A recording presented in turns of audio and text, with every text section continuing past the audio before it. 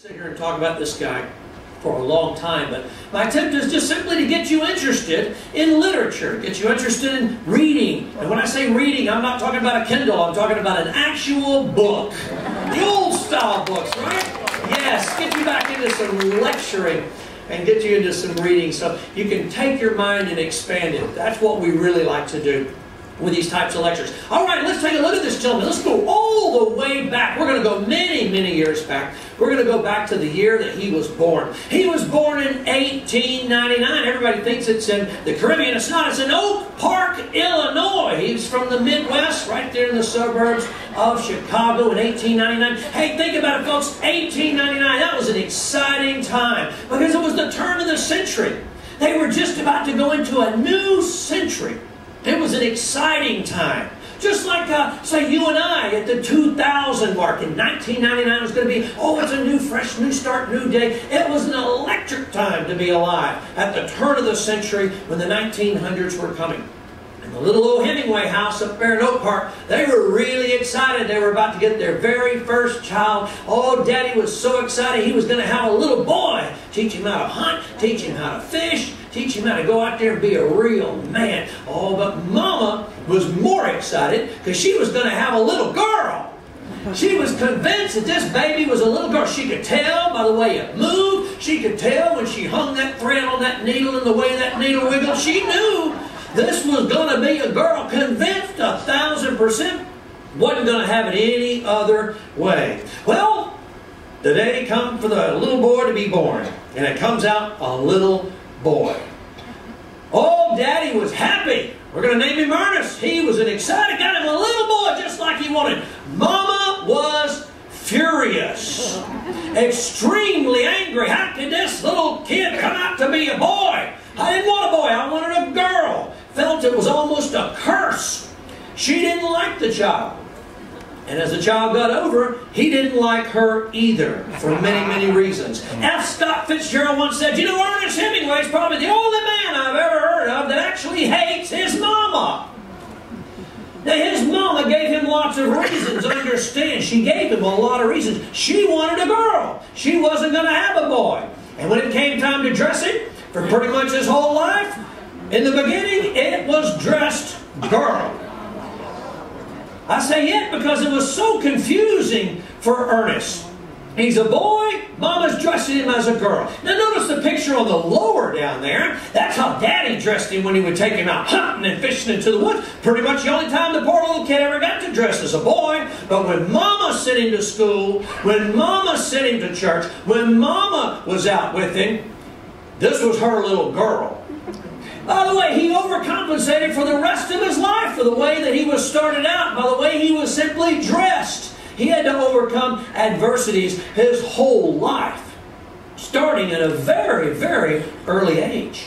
But he did start dressing himself when he became old enough, and he did make the choice of dressing like a boy.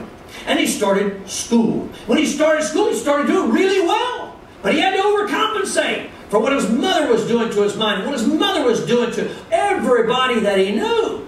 Oh, this is my little girl. Used to tease him about it. Used to embarrass him, humiliate him.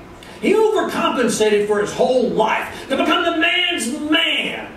In high school, signed up for some sports, played football, wrestling, loved boxing his entire life. Loved boxing. Even later in life, owned his own boxing ring in Key West. Oh, he overcompensated to become the boy, the boy, and then the man's man. He was a good student, by the way. He was a really, really good student. His teachers loved him. They found that he shined in his courses, especially one teacher he had that was his speech teacher and his English teacher. When he submitted works, the works were completely different than any other kid had ever submitted. His writing was a unique style for that time. It was a very unique direction for anyone, especially at his age, to tackle a topic. The teacher told him, Ernest, you got to find something to do for your career. You got to find something to do that's going to take care of you and your future family for the rest of your life. And I see a gift in you, young man. It's called writing. You need to continue to write. Focus on that as a career.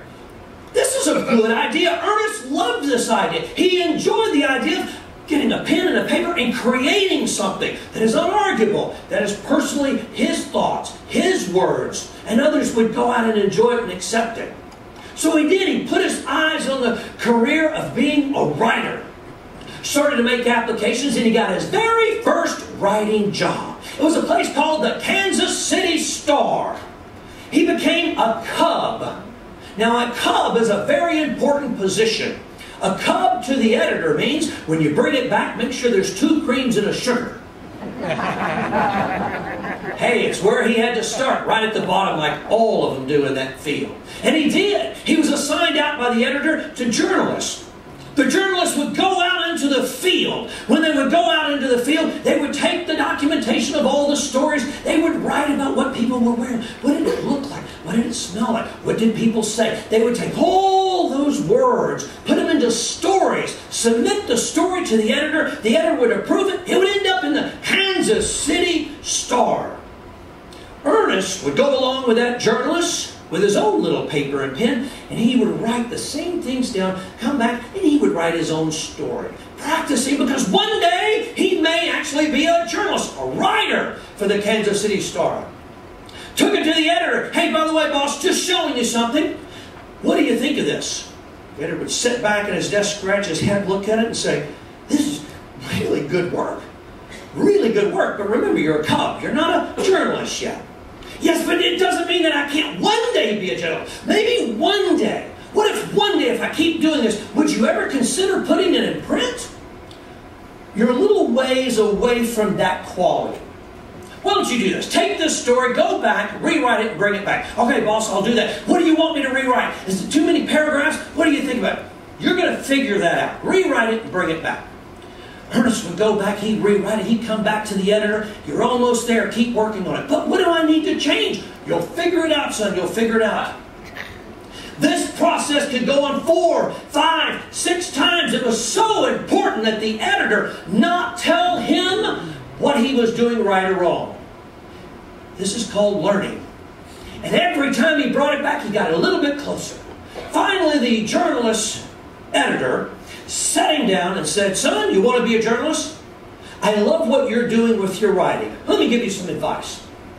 The advice he gave him was probably without question the best advice Ernest Hemingway ever received.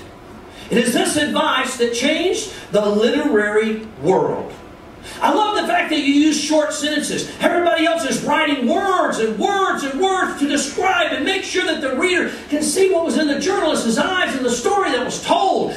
But you can do it with very short sentences, short first paragraphs. This is a brilliant style. They're turning in three pages, you're turning in three words and getting it across with power and conviction.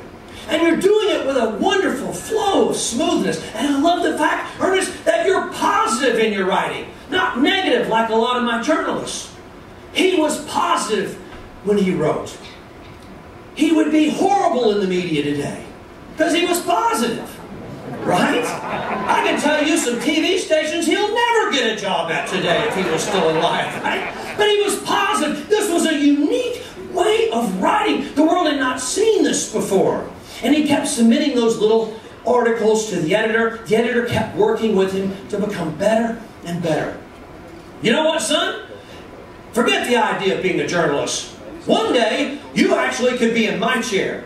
You have the talent, young man, of being an editor of the paper. An editor. Never thought of that. I could be the editor in charge. Maybe one day in charge of the whole paper. Maybe one day, what if I had my own paper? Oh, he set out the destiny. He figured out what his destiny was going to be. He was going to be an editor of a newspaper. Maybe even one day create his own paper. So everybody had his style of writing. It was a great time to be Ernest Hemingway. Young, with a vision ahead of him. Very clear, detailed vision of what life was going to be for Ernest Hemingway. Until one day, everything changed. For many young men back there, everything changed. Now, when I say everything changed, he received a letter from his uncle, Sam. The uncle told him, You now are going to change your life. Oh, listen, folks. When that letter came in, your life changed immediately. See, the men, when they got the letter from Uncle Sam, you're going to war. You're going to the military. Oh, no. What about my plans? What about my dreams, my aspirations? What about my life? I've lost the choices that I was going to make for myself. This is not right. This is not fair. That's the direction that men took. Not Ernest Hemingway. He was excited. I'm going into the war. I'm going into the military. Think about it. I'm broke. I have no money. I'm going to be able to travel on their dime. I'm going to be able to tell stories in places in the world that I can never get to myself. This is going to be awesome. It's going to be perfect for a future journalist, for a future editor. He was very excited. Started putting his documents together. Got his passport pulled all of his birth certificates and personal paperwork together. Once he had all of that all together, he went down to the board, submitted it all. They put him into his physical, where he was denied with bad eyesight. How do you correct bad eyesight? By the way, there were no LASIK surgeons back there. Bad eyesight meant you were immediately denied. When he was denied, they basically told him no. Nobody ever told no to Ernest Hemingway, and he accepted the first time he hears it. He said, I'm going to war. I'm going to battle. Somehow, some way. And he figured out that angle. The angle was he volunteered for the war. By volunteering for the war, he was able to go overseas on their money. He was able to go right to the front lines as an ambulance driver, delivering very, very important cargo. Chocolates to the front line. Oh, you laugh. Listen, if you were on the front line, chocolates were very important cargo at that time. Oh, it was a great time. He was able to go all the way to the front lines, pull out a pen and paper, start documenting and telling the stories onto his tablet from all of the soldiers that he would meet, from all of the wonderful places he would go, until one day in July 8th, he was shot right through the door of the ambulance. Shrapnel flies in and wounds our young Hemingway. Throws him right into the hospital. Look at the pain! Not much pain, is there? Put him right in the hospital. Oh, this took the wind out of him. I'm telling you, it set it back. It wasn't an easy, easy thing to overcome. But he had to have a nurse there to take care of him, and she did. She took real good care of him. Her name was Agnes von Kurowsky. Not only did she mend his body, but she made his heart flutter. He liked her. You know what? She liked him. And they really started hitting it off. And it was a great time. He was falling in love for the very first time. He was excited. And then he got another letter from his uncle. The uncle said, You're going to be sent back to Oak Park, Illinois, as a wounded soldier. He heard, You're going home to mama. this is not the place this man wanted to be going, was Oak Park, Illinois. But what about, what about Agnes? What about her? This is going to tear me. Finally, I've given my heart to someone, and now I'm going to be separated by battle. They're sending me back home. Honey, don't you worry, she told him. Don't worry, sweetheart. I'll follow you. Let me shut things down here. Give me 30 days. Go home. Don't worry. And in 30 days, I'll knock on your door, and I'll be there. Right there to take care of you, just like I have for the last few months. And Ernest went back home, waited anxiously 30 days later, there's a knock on the door. They open up the door. He received a letter from Agnes. I have fallen in love with another soldier. He was crushed. This is the first little puppy love. He was crushed, devastated. How is he going to overcome? What is it with these women in his life, he said later. What is it? He couldn't quite figure out what to do. And this one really knocked him on his feet. And he was not doing well, but he had to recuperate on his own. And he did. And he turned to what he knew was best for Ernest. He turned to the pen and the paper. And he started compiling his stories. He started compiling stories about his true adventures in his life. His first true adventure was being shot. But this is where headlines were created Ernest Hemingway. He created the short, simple, catchy, powerful, powerful headlines that many magazines now use today. Newspaper man survives 200 battle wounds. That'll make a read. Oak Park boy shot to pieces and jokes about it. Yankee punctured by 227 pieces of Austrian shrapnel. Oh, they read the stories because he came out a hero when you read them, but look who wrote them. He was able to rewrite literature right there and just simply recreating the headlines using the advice that the editor gave him. Short paragraphs, short sentences, powerful words, son. Powerful. Keep doing what you're doing and keep them positive. And he did. But it wasn't long after that that his little heart started to flutter again. He met a really nice lady. Her name was Hadley Richardson. Oh, by the way, Hadley came from money. And we're not talking about a little bit of pocket change and folding money. We're talking about big, deep aristocrat money. She was rich. And Ernest loved her, not for the money. He loved her because he loved women. He really, overall, loved women. And you know what? On September 1921, he got down on one knee and he proposed, and she said yes, and they got married just within the same month. By the way, take a good look at that picture. That's the last time you'll ever see Ernest Hemingway without a mustache. Later in his life, he would grow a beard to cover that pale Midwestern skin in the Caribbean sun. At that young age, he grew that mustache. Being a man's man, because women can't grow mustaches, so grow a mustache. The rest of his life. No dress is ever going to fit on this man ever again. And they were happy. Well, Hadley says, honey, we got to find somewhere to live. Mama said, by the way, I got that back bedroom right back there, son, in the back of that old park house. You're welcome to have your... Mama won't bother you at all. right. So he looked at Hadley and he says, Mama wants us to live in Oak Park. What do you think? She said, honey, I'm fine. If you want to live in Oak Park, we can. He says, I got a better idea. Paris! She'll never come over there. and they moved to Paris in the early 1920s. Oh, listen, he got advice to move to Paris. They told him. They said, Ernest, you're unique. You're very unique with your writing. That's where geniuses are. You need to go to Paris. Go to the bistros, hang out at night, talk to the geniuses of there. And by the way, I must agree with everything I read. That is the best spot Ernest Hemingway could have ever been. In the early 1920s, there was a revolution, a revolt of creation going on within the world. Not only just the writing world, where he was recreating it, there was other people, F. Scott Fitzgerald, Ezra Pound. Many of them were recreating, completely recreating literature. At the same time, the art world was being recreated. You see, the museums and the galleries and the rich were telling the artists, this is art. The artists were saying, ah, I beg to differ. I'm the one that painted it. I'm the one that sculpted it. I created it. How can you say it's not art if I say it is? I'm the creator. I'm right. Museums and galleries said, no, we're right. There was a fight. So much of a fight that it showed up in your art today that you love. One of those gentlemen sitting at that bistro right across from young Hemingway was a gentleman that was hired to do portraits on a regular basis. Because that's who had the money to have paintings done were the rich.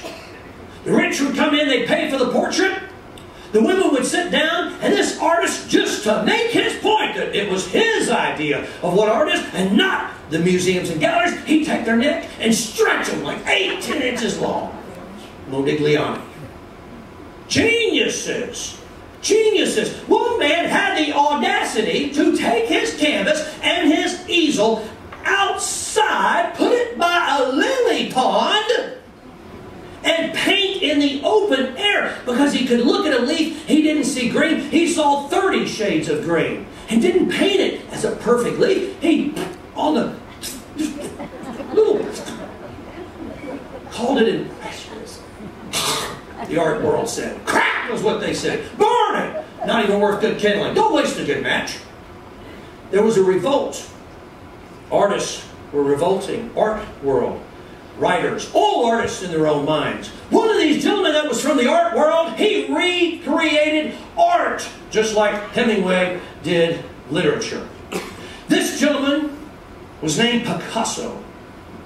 When Picasso died, to teach you you what genius looks like. He never allowed anyone in his studio, ever where his works were. However, when he died, he couldn't stop. There was an estate that had to be settled. There had to be a value placed on his works. The estate hired a firm, they went in and they counted how many works of art do we have here that are finished, that are complete products, and how many are unfinished that we could still claim as property and still get a price for that are unfinished. Picasso was working at one time on 5,723 unfinished works at the same time. That is genius. Picture Hemingway writing 5,000 books at the same time. These people were geniuses. And they all became good friends. They all became drinking buddies. They all became supportive of one another. Now, Ernest, old, Ernest, he started hanging around with a regular old posse. They became known as the Lost Generation, the people between two wars. But look at the names up there. Scott Fitzgerald, Gertrude Stein, Ford Madox, James Joseph Ezra Pound. These were great, great literary artists. He had surrounded himself with greatness. If there's any advice I could ever give a kid, be careful who you surround yourself with. That environment can change your world any way you want. He surrounded himself with greatness from the literary world. He received contracts. He had to make some money. One of those contracts was from a place called the Toronto Star. The Toronto Star offered Ernest a contract to submit editorials about Europe. Well, what would you like? They said, That's up to you, sir. You're the genius. Bring Europe to Canada and the U.S., bring Europe to North America. And he did. If you've ever heard of the running of the bulls, that was a story he submitted. Have you ever heard of a festival where they throw thousands and thousands of tomatoes at each other? That was an editorial submitted by Mr. Hemingway. He brought Europe to the world and he started writing. He completed a little bitty work called The Torrents of Spring, actually later ended up as an, official first novel. But he sat down to write this novel, and he did. He sat down to write a specific novel, The Sun Also Rises. He and Hadley were doing good. Hadley came to visit him. She was so excited to come and visit him. She came to visit him in Europe. Now, while he was over there in Europe, and she's over there visiting him from her house across Europe, they lived on one end, he was all the way on the other. He said, Do me a favor, sweetheart. On my desk, you'll find four manuscripts. On your way, would you do me a favor? Stop by the post office, mail them to me, and make sure that you buy insurance for them. They're the only copies I have. Not a problem. They'll be there Sunday. Sunday came around. He opened up the door. There stood Hadley. Hi! I didn't know you were coming. Well, yes, I wanted to surprise you. I brought you your manuscripts. He said, Fabulous, where are they? She said, They are, um. Honey, I left the bag on the train. The world has never seen those four manuscripts. Let's just say this created a little tension in the family. she lost the first four great novels that Ernest Hemingway had ever completed. This started giving him some pressure. This started giving him some trouble. And at the same time, he was being pressured by his own literary world. He had submitted The Sun Also Rises as his first official novel, and when he did that, the critics started coming in. The critics were not the nicest on him. You surely are now famous as a writer. I shall trust that your future books will have a different sort of a subject matter. You have such a wonderful ability. We want you to be able to read and ask other people to enjoy your works. By the way, that was his daddy. One of the filthiest books of the year. That was his mama. The critics were hard. His marriage was struggling.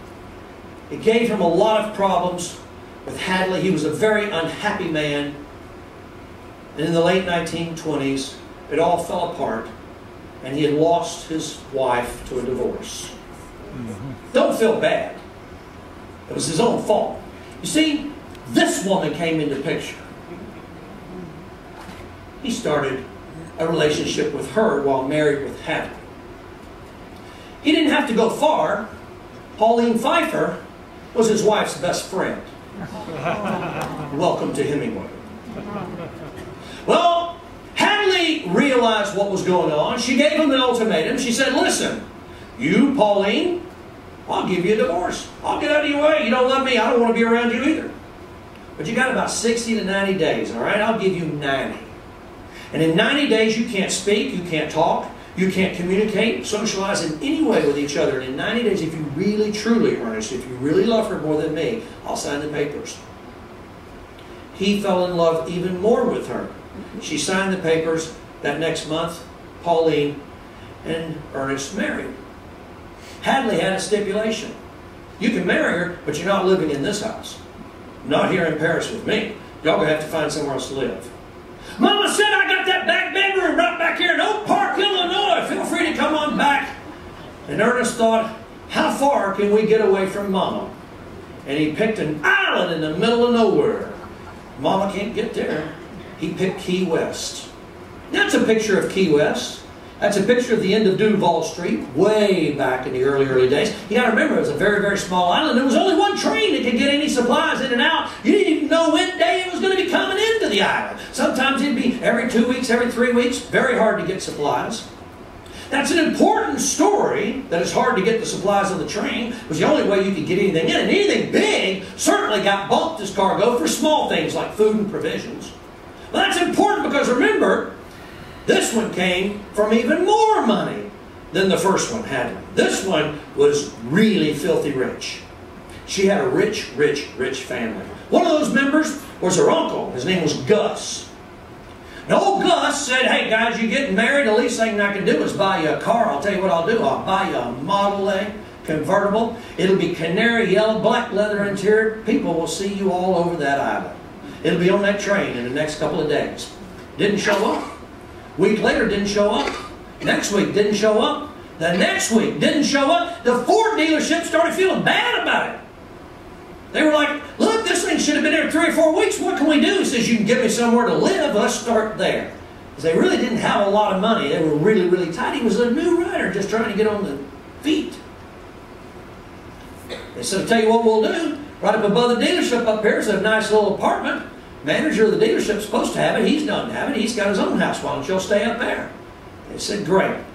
We'll stay here till the car comes. And the car didn't come. Car didn't come. Car didn't. Finally, the car arrived. But he had started on focusing on what he loved to do. He began writing another novel, A Farewell to Arms. By the way, it was a great time to be Ernest Hemingway. Nice little island in the middle of the end of the the end of Florida, right there at the beginning, right there at the touch, the end of the point, ran the Gulf Stream. And he loved to fish. He just didn't have anything to fish with. But he started making friends. Once he got out there and started making friends, he met a lot of people. The guy that owned the hardware store right down from the auto dealership, that was old Charlie Thompson. He had a 19 little foot boat. They went out all the time. Old Charlie took his best friend out, Joe. Joe owned the bar, called it Sloppy Joe Russell. Sloppy Joe's, you know that today.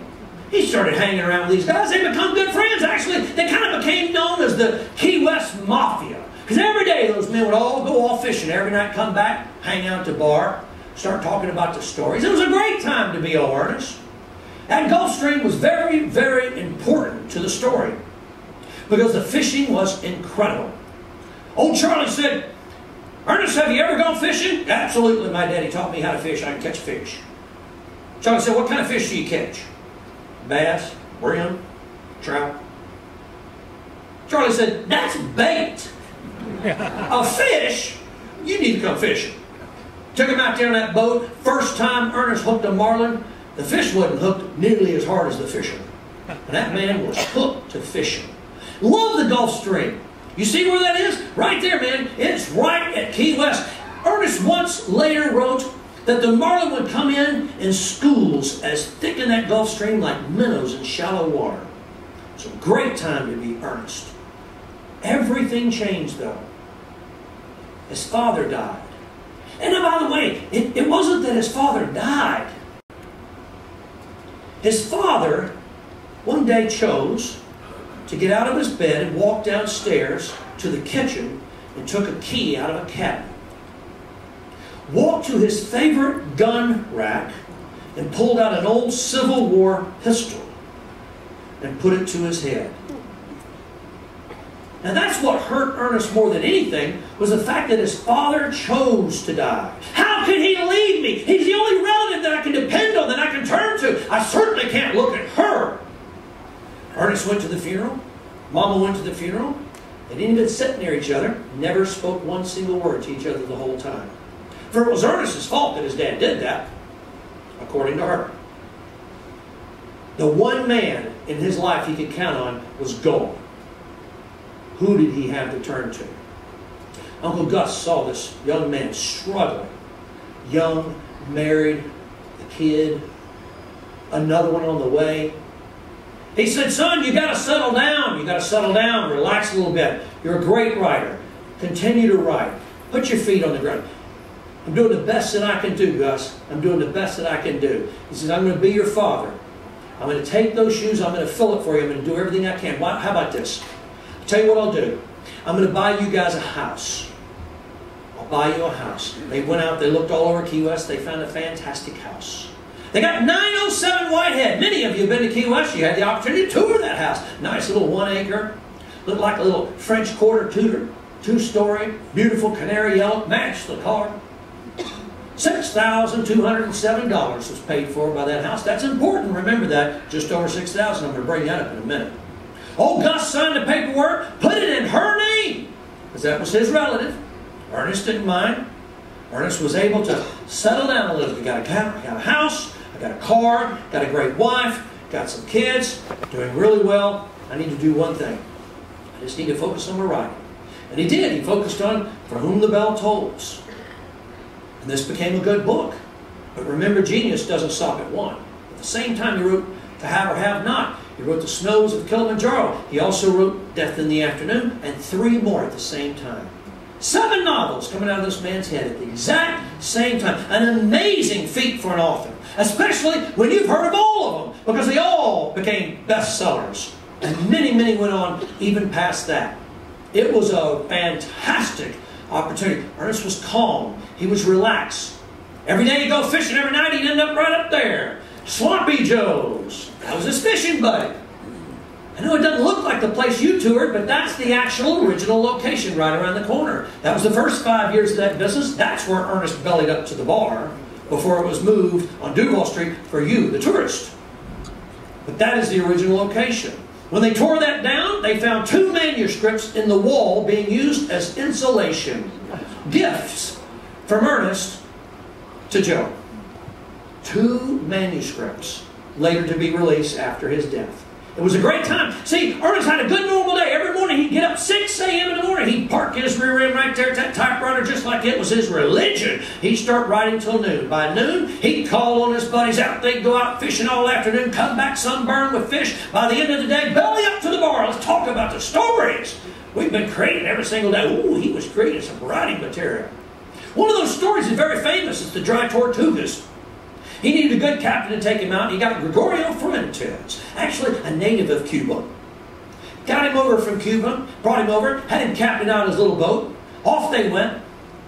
But on this particular tour, things went upside down very fast and bad. Ernest would go out fishing for sometimes a week, half a week, two weeks. But on this particular fishing trip, he went way out, way past the dry tortugas. Had two marlins on the line, one on the back, one on the right. Ernest was reeling them in. In the meantime, Captain was looking at the weather. He Said, cut the lines. We're leaving right now. We're not cutting the lines, Ernest argued. There's no way we're cutting these lines. We have two marlins on. He said, cut the damn lines. Ernest, at six foot four, stood up to the captain and said, it may be your boat, but these are my fish. So he reeled in both fish against the captain's wishes, and off they went. The captain was right. Halfway back home, they hit a storm. Lightning was crashing. Thunder was rolling. The rain was pouring. The boat was too small for the size of the waves that the good Lord had given them. They were fighting for their lives. The captain screamed to the back of all of them, Write down your wishes. Put them in your right front pocket. For you may not be found, but if you do, at least they'll know what your thoughts were. Just got to get them to Fort Jefferson. I just got to get them to the dry Tortugas. If I can just get them there, I can put them into the back cove, we can get inside that fort, surely it'll protect us. The captain, the skill that he used to manage that little bitty tiny boat and get it into that little lagoon was amazing to Ernest. That captain saved Ernest Hemingway's life, or we would be done with this story right here. He never forgot that captain for doing it. It was a fantastic time to be Ernest Hemingway especially when you're a writer writing about your journeys. He did write another book. Now, this was about his other friend, Joe Russell. See, Joe was a rum runner in the Prohibition years. He used to rum run some liquor into the bottom of Florida. And Joe, Joe was a fantastic rum runner with his own little hidden boats. Oh, he'd tell the stories of Hemingway. Hemingway would write it down just like he was at a war, interviewing the front lines. Oh, this was good. Hollywood found that book and said, you know what, that's a pretty good book. Hollywood came knocking and said, we're going to make it into a movie. Here's a check. Ernest looked at the check and said, how many books would you like? they said, that's it, just this one. He hated the fact that they put Lauren Bacall, but he loved the fact that they used Bogart. That was his, that was his idol. Ernest couldn't wait. He went down with his wife. They got into the theater, sat down, grabbed their popcorn. Oh, this is going to be a good book, I can tell you what. Turned into a movie. Can't wait to see it. Thing came on three minutes into the movie. Three minutes into the movie. Got up, threw the popcorn down, stormed out of the movie. Got home, contacted Hollywood. How dare you? What have you done to my story? Short paragraphs, short sentences, every word exactly picked, and you turned around and destroyed it. I don't even recognize it as a movie. They said, We have the right to do so. No, you don't. I'm the author. They said, Ernest, did you cash that check? Yes. They said, Great, we'll buy more books. And they did. They bought over a dozen more books. He hated Hollywood, but he loved Hollywood life. Loved meeting Jimmy Stewart. Loved meeting Katharine Hepburn. Loved Hollywood. Hated the industry. One time a reporter said, What do you feel about the success you're having in Hollywood? He said, Look, you throw in your book, they throw you the money, you jump in your car, you drive like hell back to where you came. That was his opinion of Hollywood. Hated Hollywood. Loved their money. See, their money opened up doors of opportunities for him. And with that money, he was able to go all over the world. He went right to the front lines in Spain. Standing on the front lines once again in war. All the journalists would stand out there and they say, What are you doing? We're digging an irrigation ditch for the town. Oh, there's a story. Digging an irrigation ditch for the town. Artists would go, You guys do not know how to write. The story is that one year ago, none of us would be standing on this ground. That's the part of the story you need to write, not the fact they're digging a ditch to get to the water. He was so unique. He had a great time. In the meantime, his wife's back home in Key West. She's holding down the fort. He's over there writing the stories, earning the money, coming back. Oh, it was a great time to be Ernest. But he had a problem. See, the problem was he had met someone. Her name was Martha Gellhorn. Many of you know her name because you've seen the movies about Martha, not Ernest. You've seen the articles about the great war journalist, Martha Gellhorn, was more successful as a journalist in war than Ernest ever was as a war journalist. She was the best in the world. She worked for a company called Collier's Magazine. He met her. He loved her because she was a strong woman. By the way, this was a strong, this was a man's man in a woman's body. Just like him. When he saw her, he didn't even know she was going to be in Europe. See, Joe Russell originally introduced him one time at the bar in Key West. Met her, thought nothing of it. Later on, old Ernest is standing at the bar, and here come the military troops.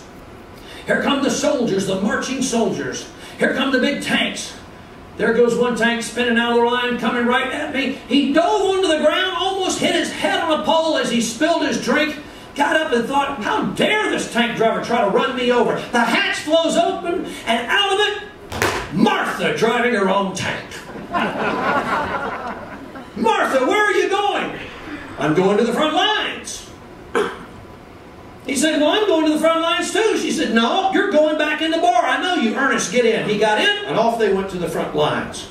Love was pattering in his heart one more time. He was a happy man, a very happy man. But remember his problem? She was still back home, called his wife. Well, Pauline got wind. She found out about old Martha while they were over there. She was very, very angry.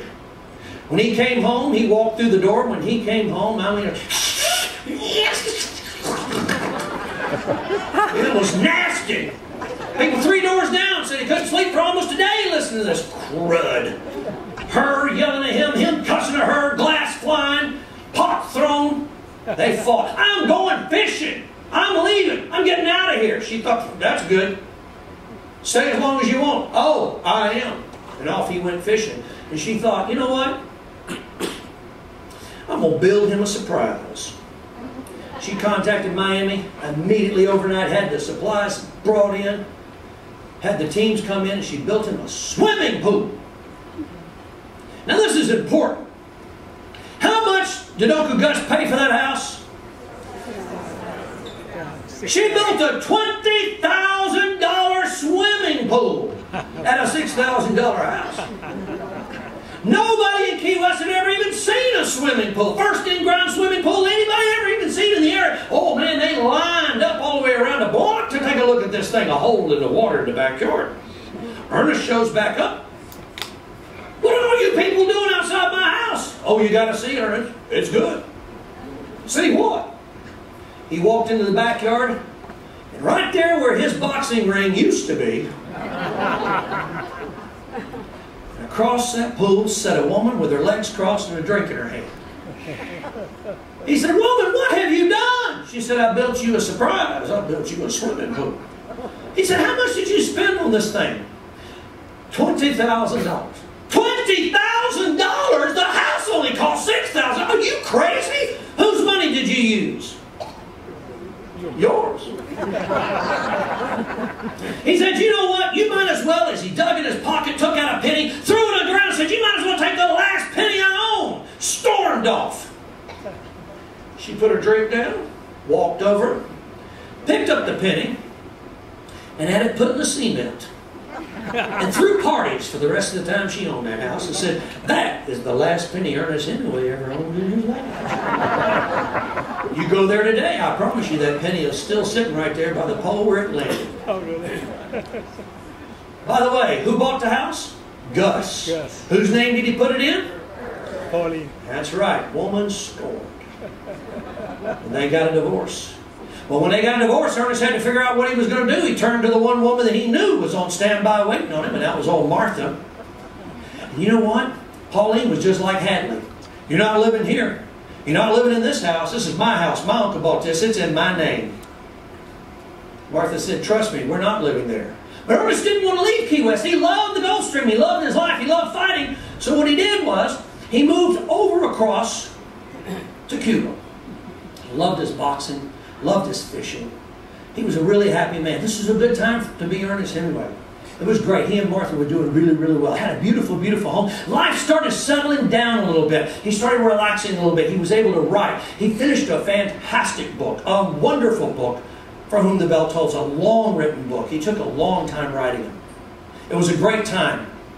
It was a good life. He was able to become an unofficial ambassador for the U.S. to Cuba, taking all those Hollywood friends and royalties and bringing them over, showing them a fantastic time, a great time. It was an exciting time. Oh boy, he missed the Sloppy Joes. But he found another location, just as good. It was called the Ristorante Floridita. They created its own drink. It was called the Papa Double. It was a double daiquiri.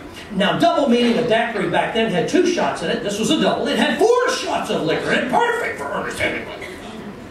You could go to the restaurant, you could sit in a table, you could order the Papa Double, walk to the bar where the legend stood right in the back, toast him, and drink it. And Ernest would drink it. If you ordered it, he'd drink a drink with you. And the next person, he'd drink one. The next person, he'd drink one. The next person, he'd drink one.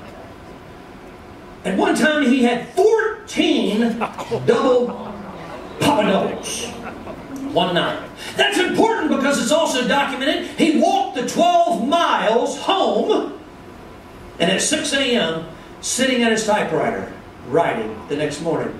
Not a slurred word, not a blurred vision.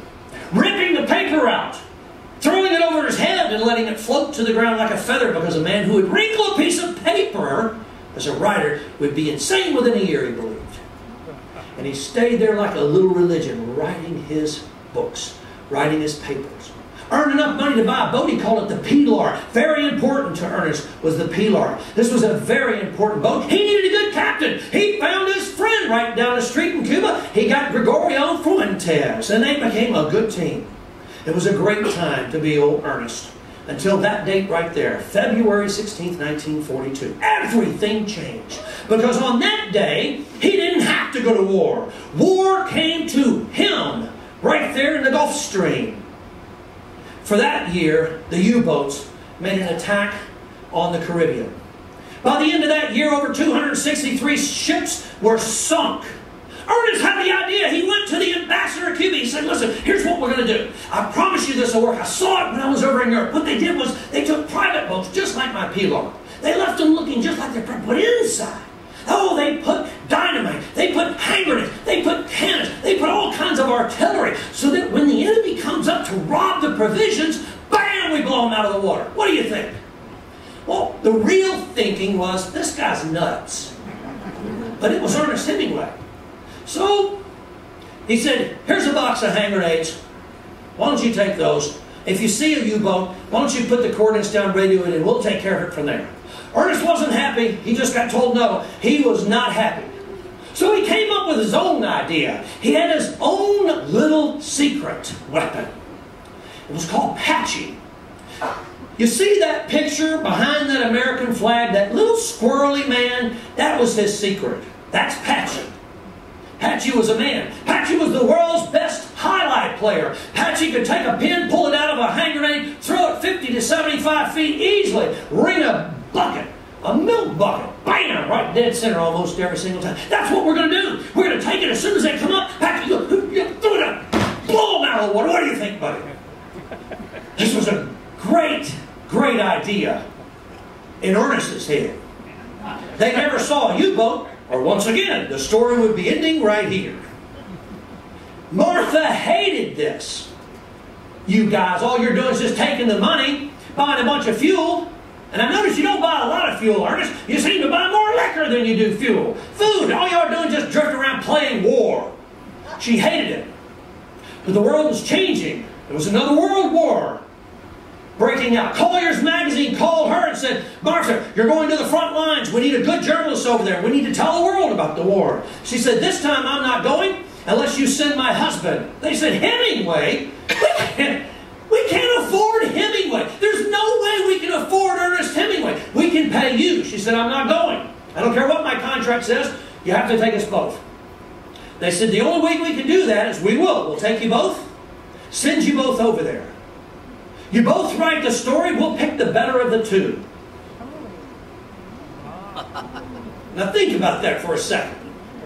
They're going to pick the better of the two, the famous war journalist against the famous novelist, and they're going to pick one of these two. By the way, this put a lot of pressure on them. But they were very well-known duo in journalism.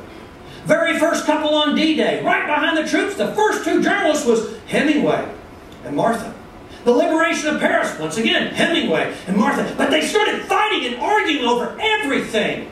So Collier said, here's what we're going to do. We're going to split you up. One's going to go to one side of Europe, one's going to go to the other. Ernest said, fine. I could use a little space. And he did. While he was up on the north end of Europe, welcome to Ernest Hemingway. He met old Mary. And by the way, Mariel Hemingway says that this is probably the favorite of all the wives that the family ever had. They say it's probably the best one that he ever had. Mary was a good wife, but they needed somewhere to live. This time, the house was in his name, and they moved to Cuba. Martha had to leave. While they were in Cuba, the house was right over a nice little marina. One of the captains that managed that marina gave her a cat. It was called a polydactyl cat. A polydactyl cat means it has more than the normal toes on one foot. That means it has like six toes on one foot. By the way, Ernest hated cats. Terrified of snakes and hated cats. Hated the cats. Why don't we do this? Why don't we kill the cat? She said, You're not killing my cat. I'll go find another cat just to really make sure you don't kill it. We're going to have to get it a mate. And she did. She went and got her a second cat. Ernest, you need to look at this cat. You need to read about it. You'll understand why I like this cat. Ernest read about the cat, and you know what he figured out? The cat is actually a lucky cat. Polydactyl cats bring, bring wealth, prosperity, happiness, as long as they're not spayed or neutered. Ernest ended up with 57 polydactyl cats. if you've ever been to Key West, though, they say they have the cats, and we're in Cuba. That's because Snowball's descendant was actually purchased by the city of Key West, the city council. They registered the cat as a national registry because the cat had a house at the Hemingway house. The Hemingway house was a national registry, so was the cat's house. Therefore, nothing can ever happen to those cats. They can breed and be as happy as they want for the rest of their lives. They have hundreds in Key West, and including a little graveyard. The cat was very important, but he and Mary started traveling. But where did Ernest really want to be? He just wanted to be home. He wanted to do what he loved best. He just wanted to write. That's all he wanted to do. Just leave me alone and let me write. Just let me write. And he was a fantastic writer. A fantastic. He created a fishing tournament.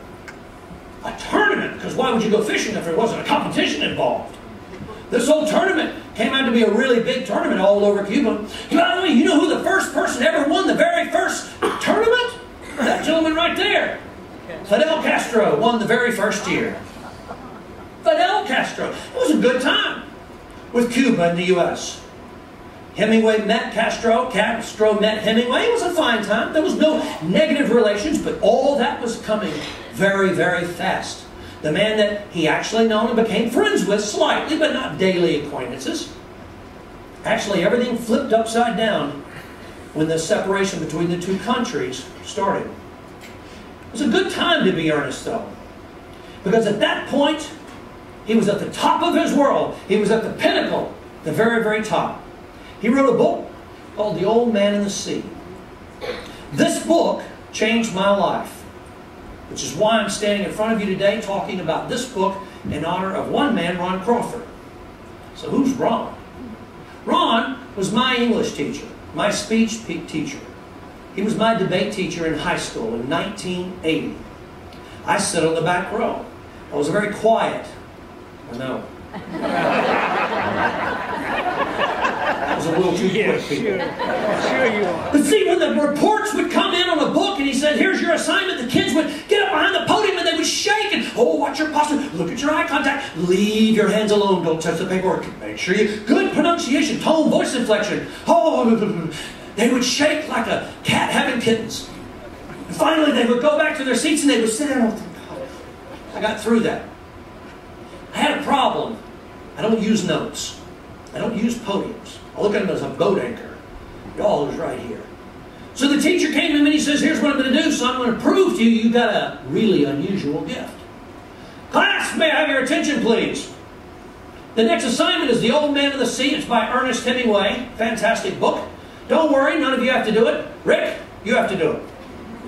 When you get up here in one week, I want you to have read that book, and I want you to get every one of these people in here that hate reading, because they're kids, I want you to make them so on fire that they read it. I thought I was being punished. But he saw a gift. At the end of that week, I got up there, took the podium, and slid it to a corner, just like I had my guys do today. And I pulled out a jewelry box. And I started holding out gemstones. I took out fishing hooks. And I became that the old man in the sea. I became the weather. I became the marlin that was hooked. The oversized marlin, way larger than the boat that was ever supposed to haul it in. I became a shark, trying to consume the fish, and the captain trying to hold it all together. By the time I went and sat down, the library had no books of the old man in the sea. For that afternoon, every one of them was checked out. At the end of that class, the teacher came to me, put his hand on his shoulder, and said, Son, your life just changed today. You've got a choice from here. You can take my advice and do what I'm telling you to do and go out and change other people's lives for the better. Or you can sit and read about it. And if you choose to read about it, there's nothing wrong with that, but I encourage you, you need to go out and find it, live it, and do it while you're young and able to do so. That was 33 years ago. And over 300 days a year, I've spent my life traveling all over the world, living, reading, studying, watching, and learning and I'll probably do it until I cannot physically do it anymore. For so that book changed my life. Man, if we could get this kind of teaching again in school, and we could get kids to start picking up books. This book was fantastic. Oh, by the way, that's not my opinion. Time Magazine serialized the book. Fantastic book. And next year, he actually started winning awards for his books. Not from Time Magazine, the Pulitzer. The next year, right after that, he won the Nobel Prize for Literature. You couldn't get any higher than the pinnacle as an author. The top, he's standing on the peak of the mountain of success and greatness. You couldn't get any higher than where he was that day. But he was struggling. He was drinking. And he was depressed. Drinking and depression is a disease. He started losing his mind. It wasn't because of the drinking. It wasn't because of the, the depression. It was because the treatment back then was electroshock therapy. They sent him to Idaho, checked him into an insane home. He pulled out a piece of paper and he wrote one paragraph. It took him two and a half weeks on those treatments to get some thought out of his head, to get just his hand to stop shaking and make it look like it was just within a half hour of writing. Gave it to his doctor and said, Let me be clear with you, doctor. I'm a literary author. I have a Pulitzer. I have a Nobel. I'm a writer.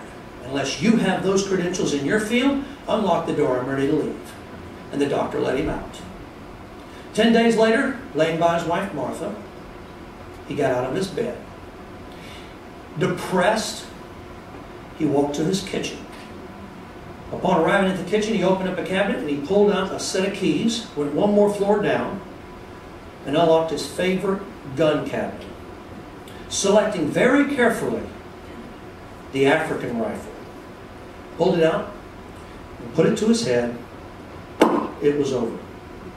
We had just lost the greatest literary artist at that time in American history. There was others, but at that time he was the greatest. He was the influencer. This man changed my life. But it's just not mine. He changed many of our lives. He taught us how to live larger than life. Because many of us, for our age, we wake up and we think this is it. I'm too old to stop dreaming, to stop planning. But this guy taught us to live, taught us to really grab greatness every single day and move forward with it. It was through his words that he was able to touch the lives of so many. His friendships that he created, his bonds that he was able to create. And the dreams and the aspirations of his writing made us want to travel, made us want to go, made us want to become more. So that every day you wake up, if you're like me, and you think, where am I? Where do I want to go? And what do I need to do to get there? And as long as you can hold on to a thought like that, it's an exciting day to wake up. This man was a great artist on paper. It's not because he wrote that, wrote that, wrote that, wrote that, or that, nor is it that he won that and won that. He was standing on the very pinnacle, the highest point of his life. But where do you go from there? In my opinion, his greatest work is not on that board right now. His greatest work is the legacy that he lives and the legacy that he left behind when he chose to go. For it's that legacy that has challenged each and every one of us to become the best we possibly can. Life is never done until the very last day.